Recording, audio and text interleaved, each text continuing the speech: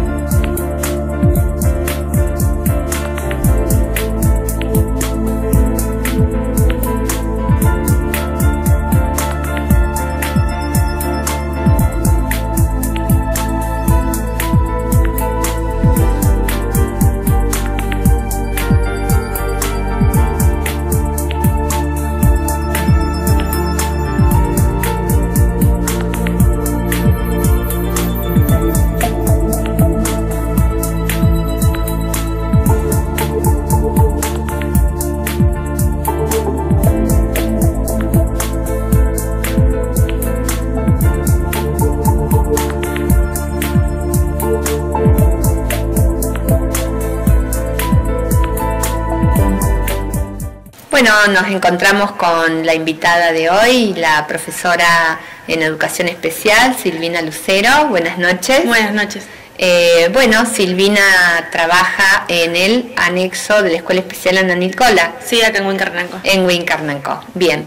Pero hoy está para hablar de varios temas y uno de ellos es el encuentro que hubo en la ciudad de Carlos Paz el día 28 de junio, un encuentro de escuelas especiales. Eh, contanos un poquito, Silvina, de qué se trató este encuentro. Bueno, en, la mañana eh, tuvimos una conferencia que hubo tres exponentes, que era un panel eh, con, con, varios. lo que estuvo lindo es que eran varios conocidos, que Silvia Druboski o Eduardo de la Vega y otro Bollino, que tenían diferentes miradas y eran se podía, había un psicólogo, una licenciada en, educación, entonces como que se fue eh, dando, distintas miradas. y aportes. Bueno, y también el público que había, eh, había docentes, eh, público en general y de diferentes modalidades, ya sea especial o común y también de lo público y lo privado, que también eso es como que hizo más enriquecedor porque fue mostrando cómo trabaja cada uno en integración y sobre todo la, eh, las formas de trabajar y las miradas y la distinta población que tenemos. Bien.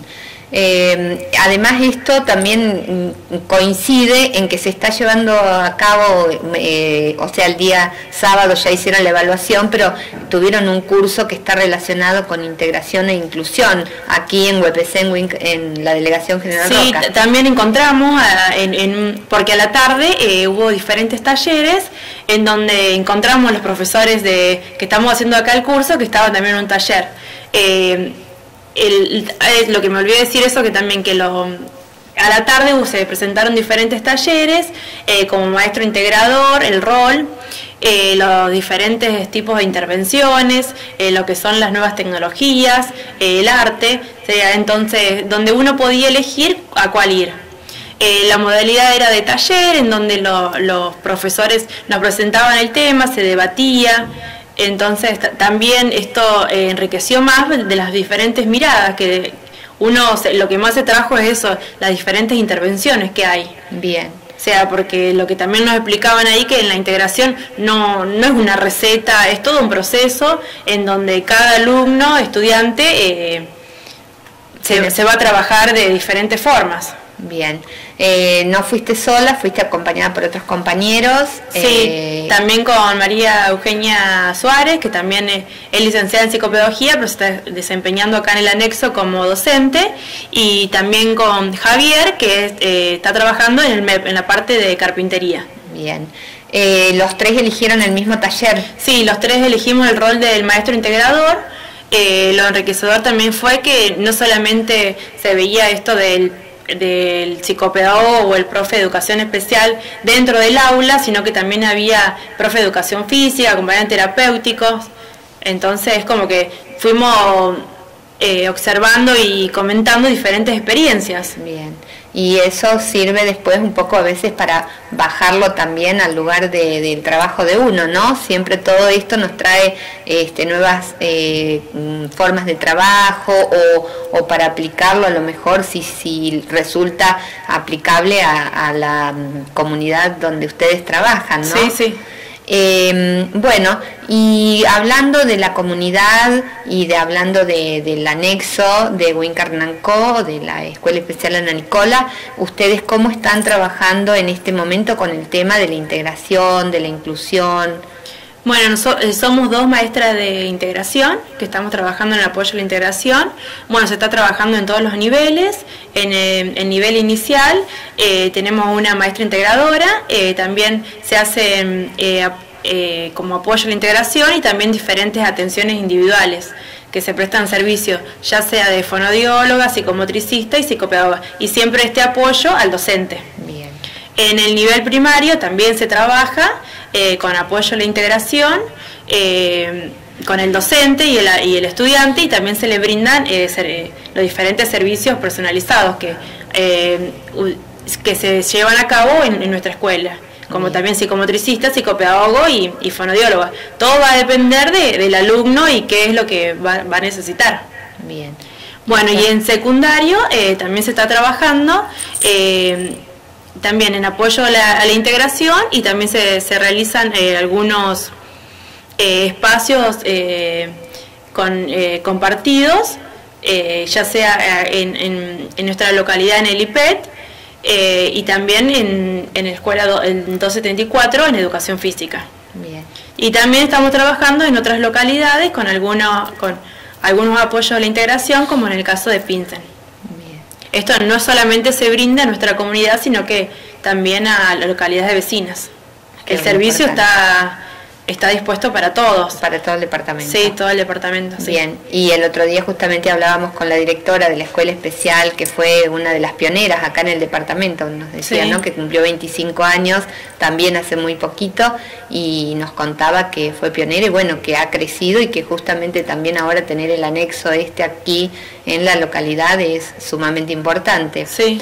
Eh, hay algunos proyectos específicos que tengan, además de todo lo que es integración, que me parece sumamente importante, porque bueno, em, la escuela común por ahí necesita ese apoyo, el docente de la escuela común lo necesita y creo que el trabajo conjunto es lo más eh, beneficioso, sobre todo para aquel alumno que necesita algún tipo de atención especial. Sí, cada vez se, se, observa de que hay más participación, o sea, es como que también el anexo hace cuatro años que está, entonces se van abriendo las puertas, pero todas las escuelas nos van abriendo las puertas para todos los proyectos que vamos proponiendo. Y también ellos nos proponen a nosotros, como también la otra vez que hicieron el, el proyecto de la municipalidad con eh, la Escuela de Comercio 141 de los tejedores, que, y nosotros también nos incorporamos, es como que estamos siempre abiertos a, todos para participar. Bien, bien. Y esto cada vez se va observando más de esta participación. De la, de la, escuela especial con la otra escuela o con otras instituciones. Sí, incluso un alumno de secundario no estuvo haciendo también un trabajo de tecnología con una revista. Sí, eh, un alumno que tiene una, una compañera en, integración eh, diseñó y realizó la, revista que se presentó en la, en los 25 años de la escuela Ana Nicola en Villa Huidobro, eh, hizo todo el diseño de toda la revista. Sería esto de pensar en la integración solamente más amplio, porque no, no quedarnos en las simples adecuaciones curriculares. Es también como ahí no eh, escuchábamos en, un eh, en la conferencia que no, no solo son eh, las, las adaptaciones, sino que pasar de la integración a la inclusión. Claro. Y por ahí hay eh, intereses más marcados en algunos de los alumnos en cuanto a ciertas cosas y que estaba eh, bueno que eh, se le vayan desarrollando y ayudando porque a lo mejor este, en el futuro puede ser hasta una forma de trabajo, ¿no? Sí, es, observar y ver cuáles son las, las potencialidades de cada uno. Exactamente, las potencialidades. no quedarse en esto que le falta, que no tiene, sino que eh, qué posibilidades tiene y, que, potenciar eso. Exacto, muy importante me parece el trabajo. Eh, Silvina, ¿algún otro proyecto que estén llevando adelante eh, ahí dentro del, del anexo? Con, por ejemplo, con Javier, con el profesor Javier. bueno, se está trabajando en carpintería. Bueno, eh, también eh, en integración lo que más se está trabajando ahora es esto de la, compartir los espacios en donde un grupo de, estudiantes eh, asiste los jueves a, la escuela IPET, donde se están integrando en estos espacios curriculares como son en los diferentes talleres. ahora están recién observando eh, cuáles para que puedan eh, observar qué, taller quieren ah, eh, realizar, que bueno, entonces como que estamos ahí con el IPET, se está trabajando en todos los servicios. Bien, sumamente importante, porque ahí este, seguramente van a despertar mucho eh, sus intereses, ¿no? Porque a lo mejor son cosas que son desconocidas en otras escuelas, porque el IPET trabaja totalmente de una manera diferente al resto de, sí, y también desconocida para uno porque sí, fuimos y observamos que le estaban a los chicos enseñándole a poner Durlock eh, también eh, sea en cantidad de cosas que igual que veíamos las chicas en, en herrería cómo están trabajando. Entonces también es esto de que también cuestiones que son desconocidas para uno de la, de la de conocer otra institución y cómo se trabaja entonces a veces también nos pasa a nosotros de que van a visitar nuestra escuela y dicen, uh, es una escuela, porque también pasa para la comunidad que no conoce nuestra escuela. Sí, sí, sí. Es como, eh, somos chicas, somos nuevas, pero, pero también invitamos a todos que participen, los que quieren sumarse, eh, están las, puertas, las puertas abiertas para todos. Bien. Eh, ¿Y algún otro proyecto además? También se está trabajando mucho en educación temprana tenemos ah, bien. Eh, muchos chicos, se, está, se están, eh, es como que se están eh, abriendo todas las puertas. Estamos en integración, educación temprana, ahora también con lo de la integración con los diferentes espacios. Bien. bueno, y también tenemos huerta en, la escuela. Ah, eso, importante. este, O sea, el desarrollo de distintos proyectos. Este, la otra vez estaba hablando, me parece, con la coordinadora y me decía algo de unas bolsas, puede ser algo de... En, costura. También tienen costura. También tenemos costura, que las chicas están eh, diseñando también, eh, hicieron bolsas eh, para los mandados, también están haciendo diferentes actividades. Sí. Bien. ¿Y qué otro, qué otro tipo de actividades hacen? Carpintería, tenemos carpintería, costura, cocina. Ah. Esos son en los talleres pre, prelaborales. Bien. Y después tenemos, eh, tenemos también el secundario y el, y el primario común. Bien. En el nivel inicial eh, trabajan conjuntamente con los jardines de infantes. Sí.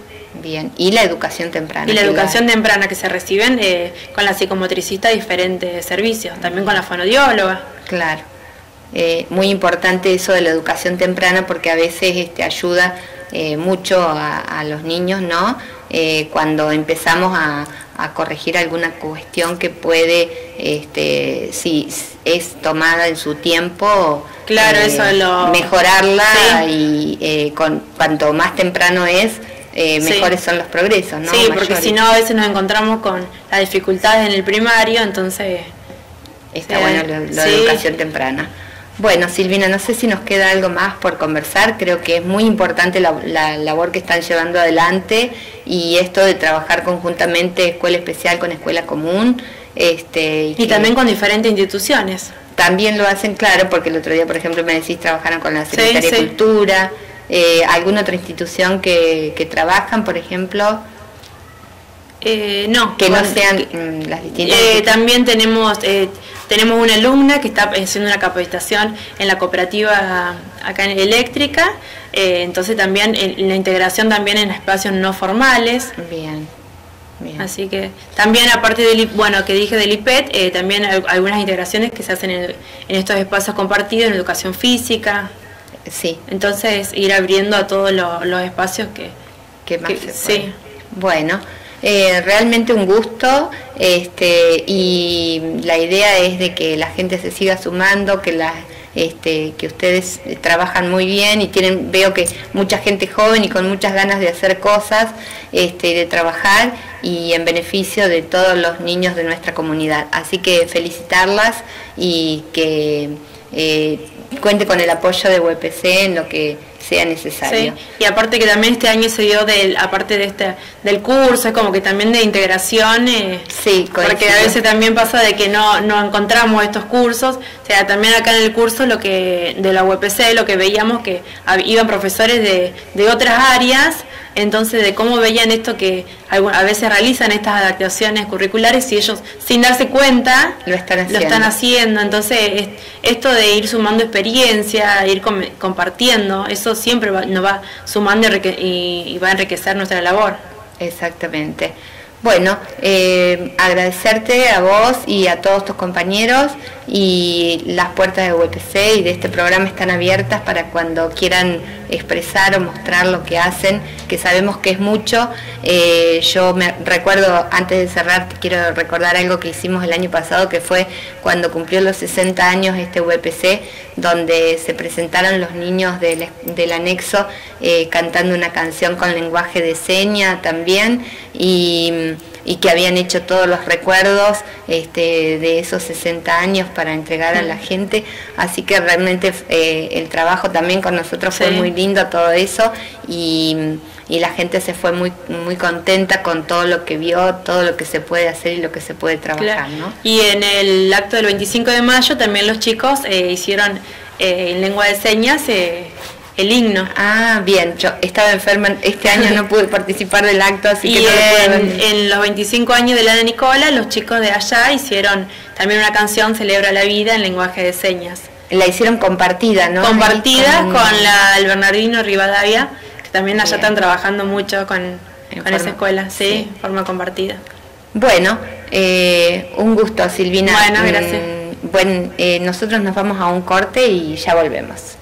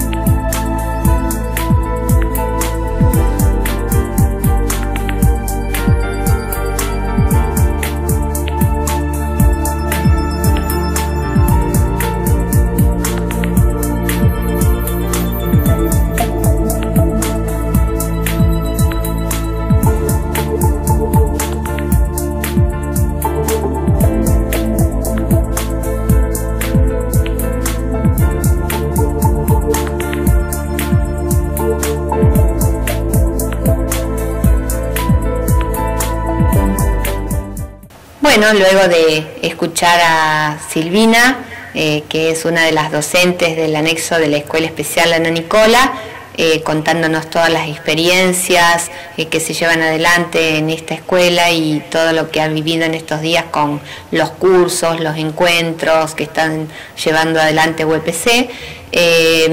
nos vamos a despedir ahora y lo vamos a hacer escuchando un fragmento de una canción que nos brindaron alumnos de una escuela especial de la delegación Punilla. Y yo también, antes de esto, quiero decirles que vamos a eh, estar unos Mm, dos semanitas sin vernos porque vienen las vacaciones, todas las docentes este, tienen sus tiempos eh, de receso de invierno, así que nos reencontramos después de estas dos semanas de vacaciones, eh, si Dios quiere, nuevamente en este programa educación arroba educadores.